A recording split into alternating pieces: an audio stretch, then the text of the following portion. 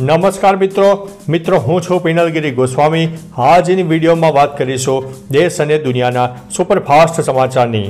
સૌપ્રથમ વાત કરીએ તો, એનડીઆરએફે એક કરોડના બળદને બચાવ્યો છે.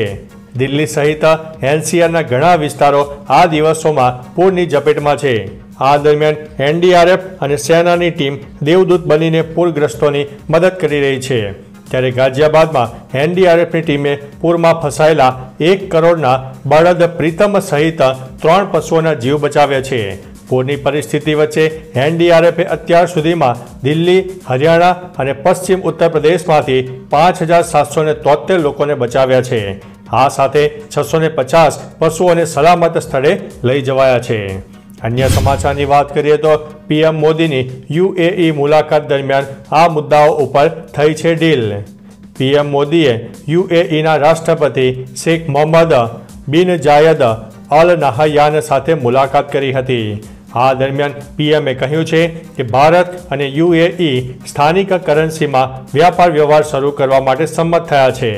આરબીઆઈ અને યુએઈની સેન્ટ્રલ બેંક વચ્ચે આ અંગે કરાર કરવામાં આવ્યો છે.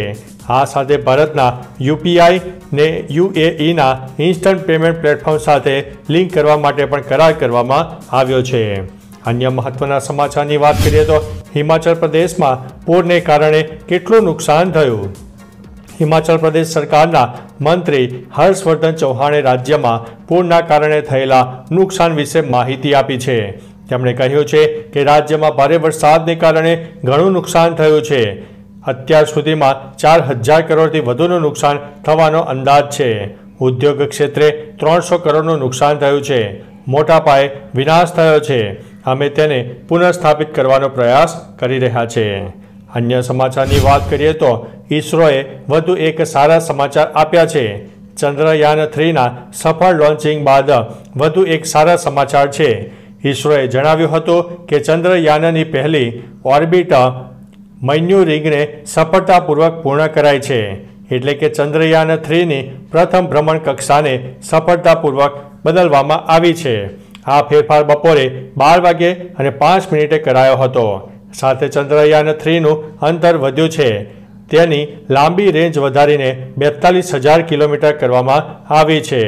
ચંદ્રયાન થ્રી મિશન અત્યાર સુધી એકદમ પરફેક્ટ ચાલી રહ્યું છે.